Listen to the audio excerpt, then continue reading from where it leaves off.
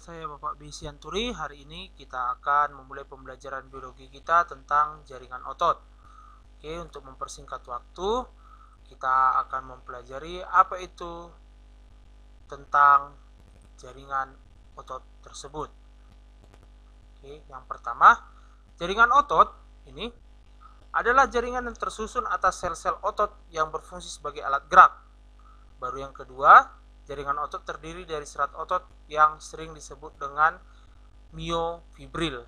Baru, otot dapat bekerja secara aktif dengan cara kontraksi atau memanjang dan memendek dan relaksasi yang memanjang ya dengan bantuan protein aktin yaitu filamen halus dan protein miosin atau filamen kasar dan berupa ATP atau adenosin trifosfat ini sebagai energi dan CA2 positif. Sebagai tambahan, jaringan otot merupakan jaringan kontraktil yang terdiri atas sel besar yang memanjang atau memiliki serat. Sel otot mampu memendek sehingga setengahnya atau bahkan sepertiganya dari panjang istirahatnya pada saat melakukan kontraksi dan kembali ke bentuk aslinya. Kontraksi merupakan sifat khusus dari otot. Kontraksi dan relaksasi diakibatkan oleh protein kontraktil yang terdapat pada sel otot. Ini adalah sel otot dalam bentuk mikrofibril yang tersusun atas sekromer-sekromer garis M, garis Z dan ini adalah pita A dan pita I. Di sini ada miosin yang aktin dan ada bentuk sakromer. Oke, ini berbentuk pita A. Jadi apabila kita melihat sketsa ini, pasti kita akan berpikiran apa itu pita I yang sebagian ini. Pita I merupakan menghasilkan daerah terang pada otot, sementara pita A menghasilkan daerah gelap pada otot. Sementara kalau dia zona H, yang ini, bagian tengah ini, zona H adalah daerah terang sempit di antara daerah gelap pita A, yaitu bagian otot tersebut. Baru yang gabungan protein aktin dan miosin disebut dengan aktro miosin. Mana itu akromiosin? Yang bagian kelompok yang ini. Oke, gabungan dari protein seperti itu. Oke, bagaimana cara kerja otot? Jaringan otot disatukan oleh jaringan ikat. Sel pada jaringan otot tidak menyekresi matriks antar sel. Sitoplasma sel otot atau serat mengandung fibril dalam jumlah besar tersusun secara longitudinal yang disebut dengan mikrofibril. Oke. Yang ini mikrofibril. Oke. Serat ini mikrofibril. Mikrofibril bersifat kontraktil. Sitoplasma disebut juga sebagai sakroplasma. Terkadang serat otot ditutupi oleh bagian dari eksternal otot oleh selubung atau membran yang disebut dengan sakromela. Fungsi utama jaringan otot adalah melakukan gerakan bagian tubuh dari sistem lokomosi pada individu. Ada tiga jenis otot yang nantinya kita pelajari yaitu berupa otot polos, otot lurik, dan otot jantung. Bagaimana sebenarnya cara kerja otot? Yang ini. Cara kerja otot pertama miosin aktif menggerakkan aktin dengan bantuan CA2 positif dan ATP atau adenosin trifosfat yang sering dikenal dengan energi miosin aktif ini menggerakkan CA positif dalam tahapan transport aktif seperti pertemuan kita sebelumnya. Transport aktif akan memindahkan CA positif dan energi untuk menggerakkan otot tersebut. Baru yang kedua, saat kontraksi, miosin menarik aktin sehingga pita A yang ini, pita A ini akan memendek dan zona H akan hilang berarti terjadi tahapan kontraksi otot. Baru yang ketiga, saat relaksasi, miosin melepaskan aktin sehingga pita I kembali memanjang yang I yang ini. Berarti terjadi tahapan relaksasi, otot mengalami peregangan atau memanjang, maka zona H akan kembali muncul yang ini. Jadi kalau dia melakukan tahap kontraksi, zona H hilang, I akan memendek kalau dia tahapan relaksasi, pita I akan memanjang dan zona H akan kembali muncul pada tahapan kerja otot di mana akan terjadi tahapan transport aktif dengan dengan Ca2 positif dan ATP adenosin trifosfat sebagai energi. Seperti itu. Begitulah cara kerja dari otot. Klasifikasi jaringan otot. Ada tiga otot. Yang pertama otot polos. Apa itu otot polos?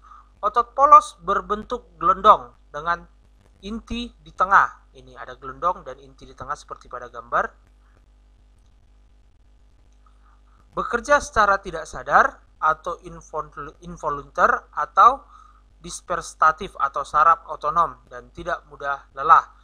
Terletak di bagian mana ini jaringan otot polos ini? Jaringan otot polos ini terdapat pada jaringan usus, jaringan lambung, ini bagian lambung tubuh kita, pembuluh darah, kantung kemih, kantung kemih ini tempat menampung berupa urin, rahim, dan organ dalam rongga tubuh lainnya.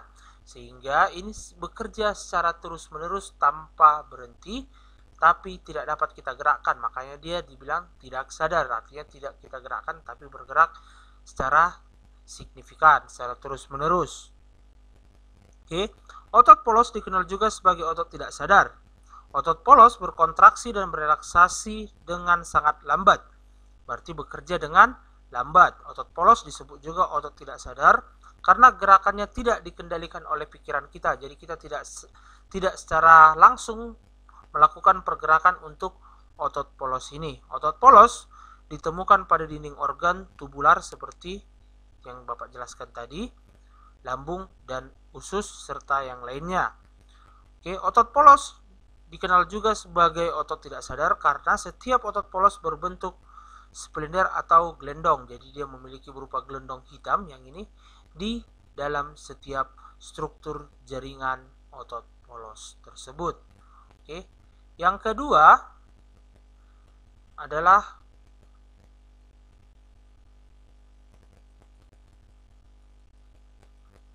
otot lurik atau yang sering dikenal sebagai otot rangka. Otot lurik berbentuk silinder panjang dan inti di tepi, tidak bercabang, bekerja secara sadar atau volunteer yang artinya kalau dia bekerja secara sadar kita dapat menggerakkan otot ini untuk menggerakkan tangan contohnya menggerakkan kaki seperti itu. Cara kerjanya bagaimana?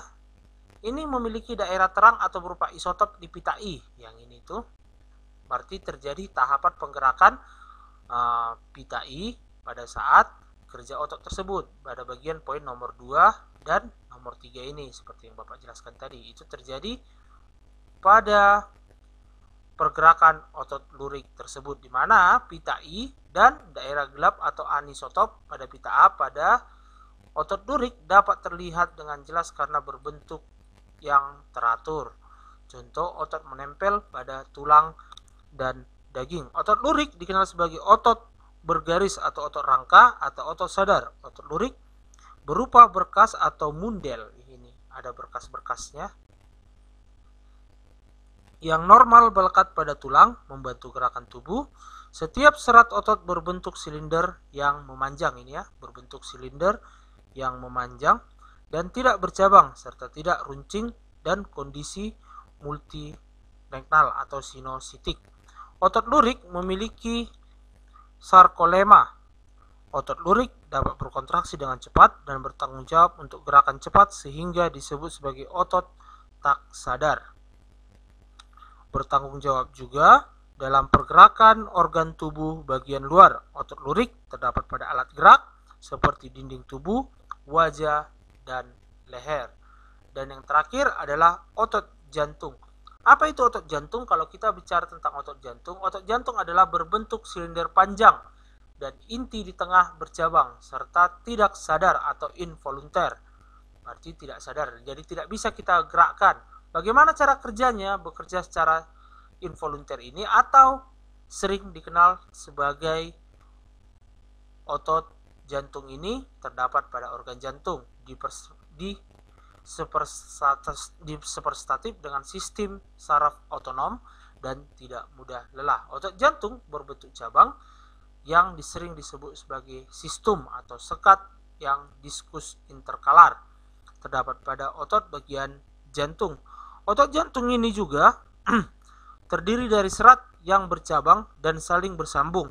Ini ya, bercabang dia dan saling bersambung. Otot serat memiliki satu atau dua inti yang terletak di tengah, melintang terhadap alur pita gelap dan pita terang.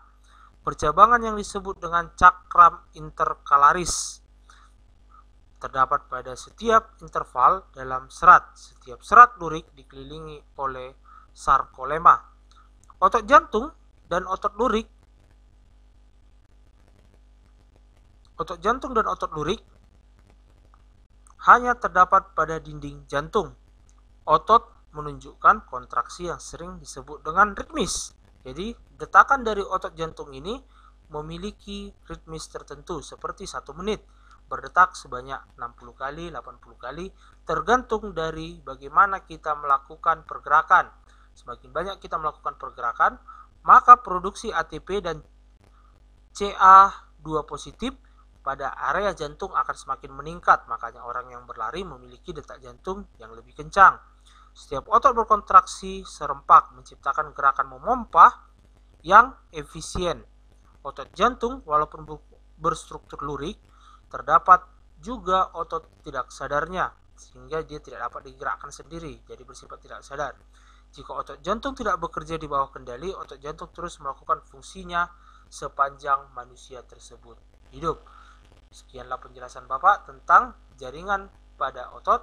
Apabila ada pertanyaan, kamu dapat mengetik pada kolom komentar. Terima kasih.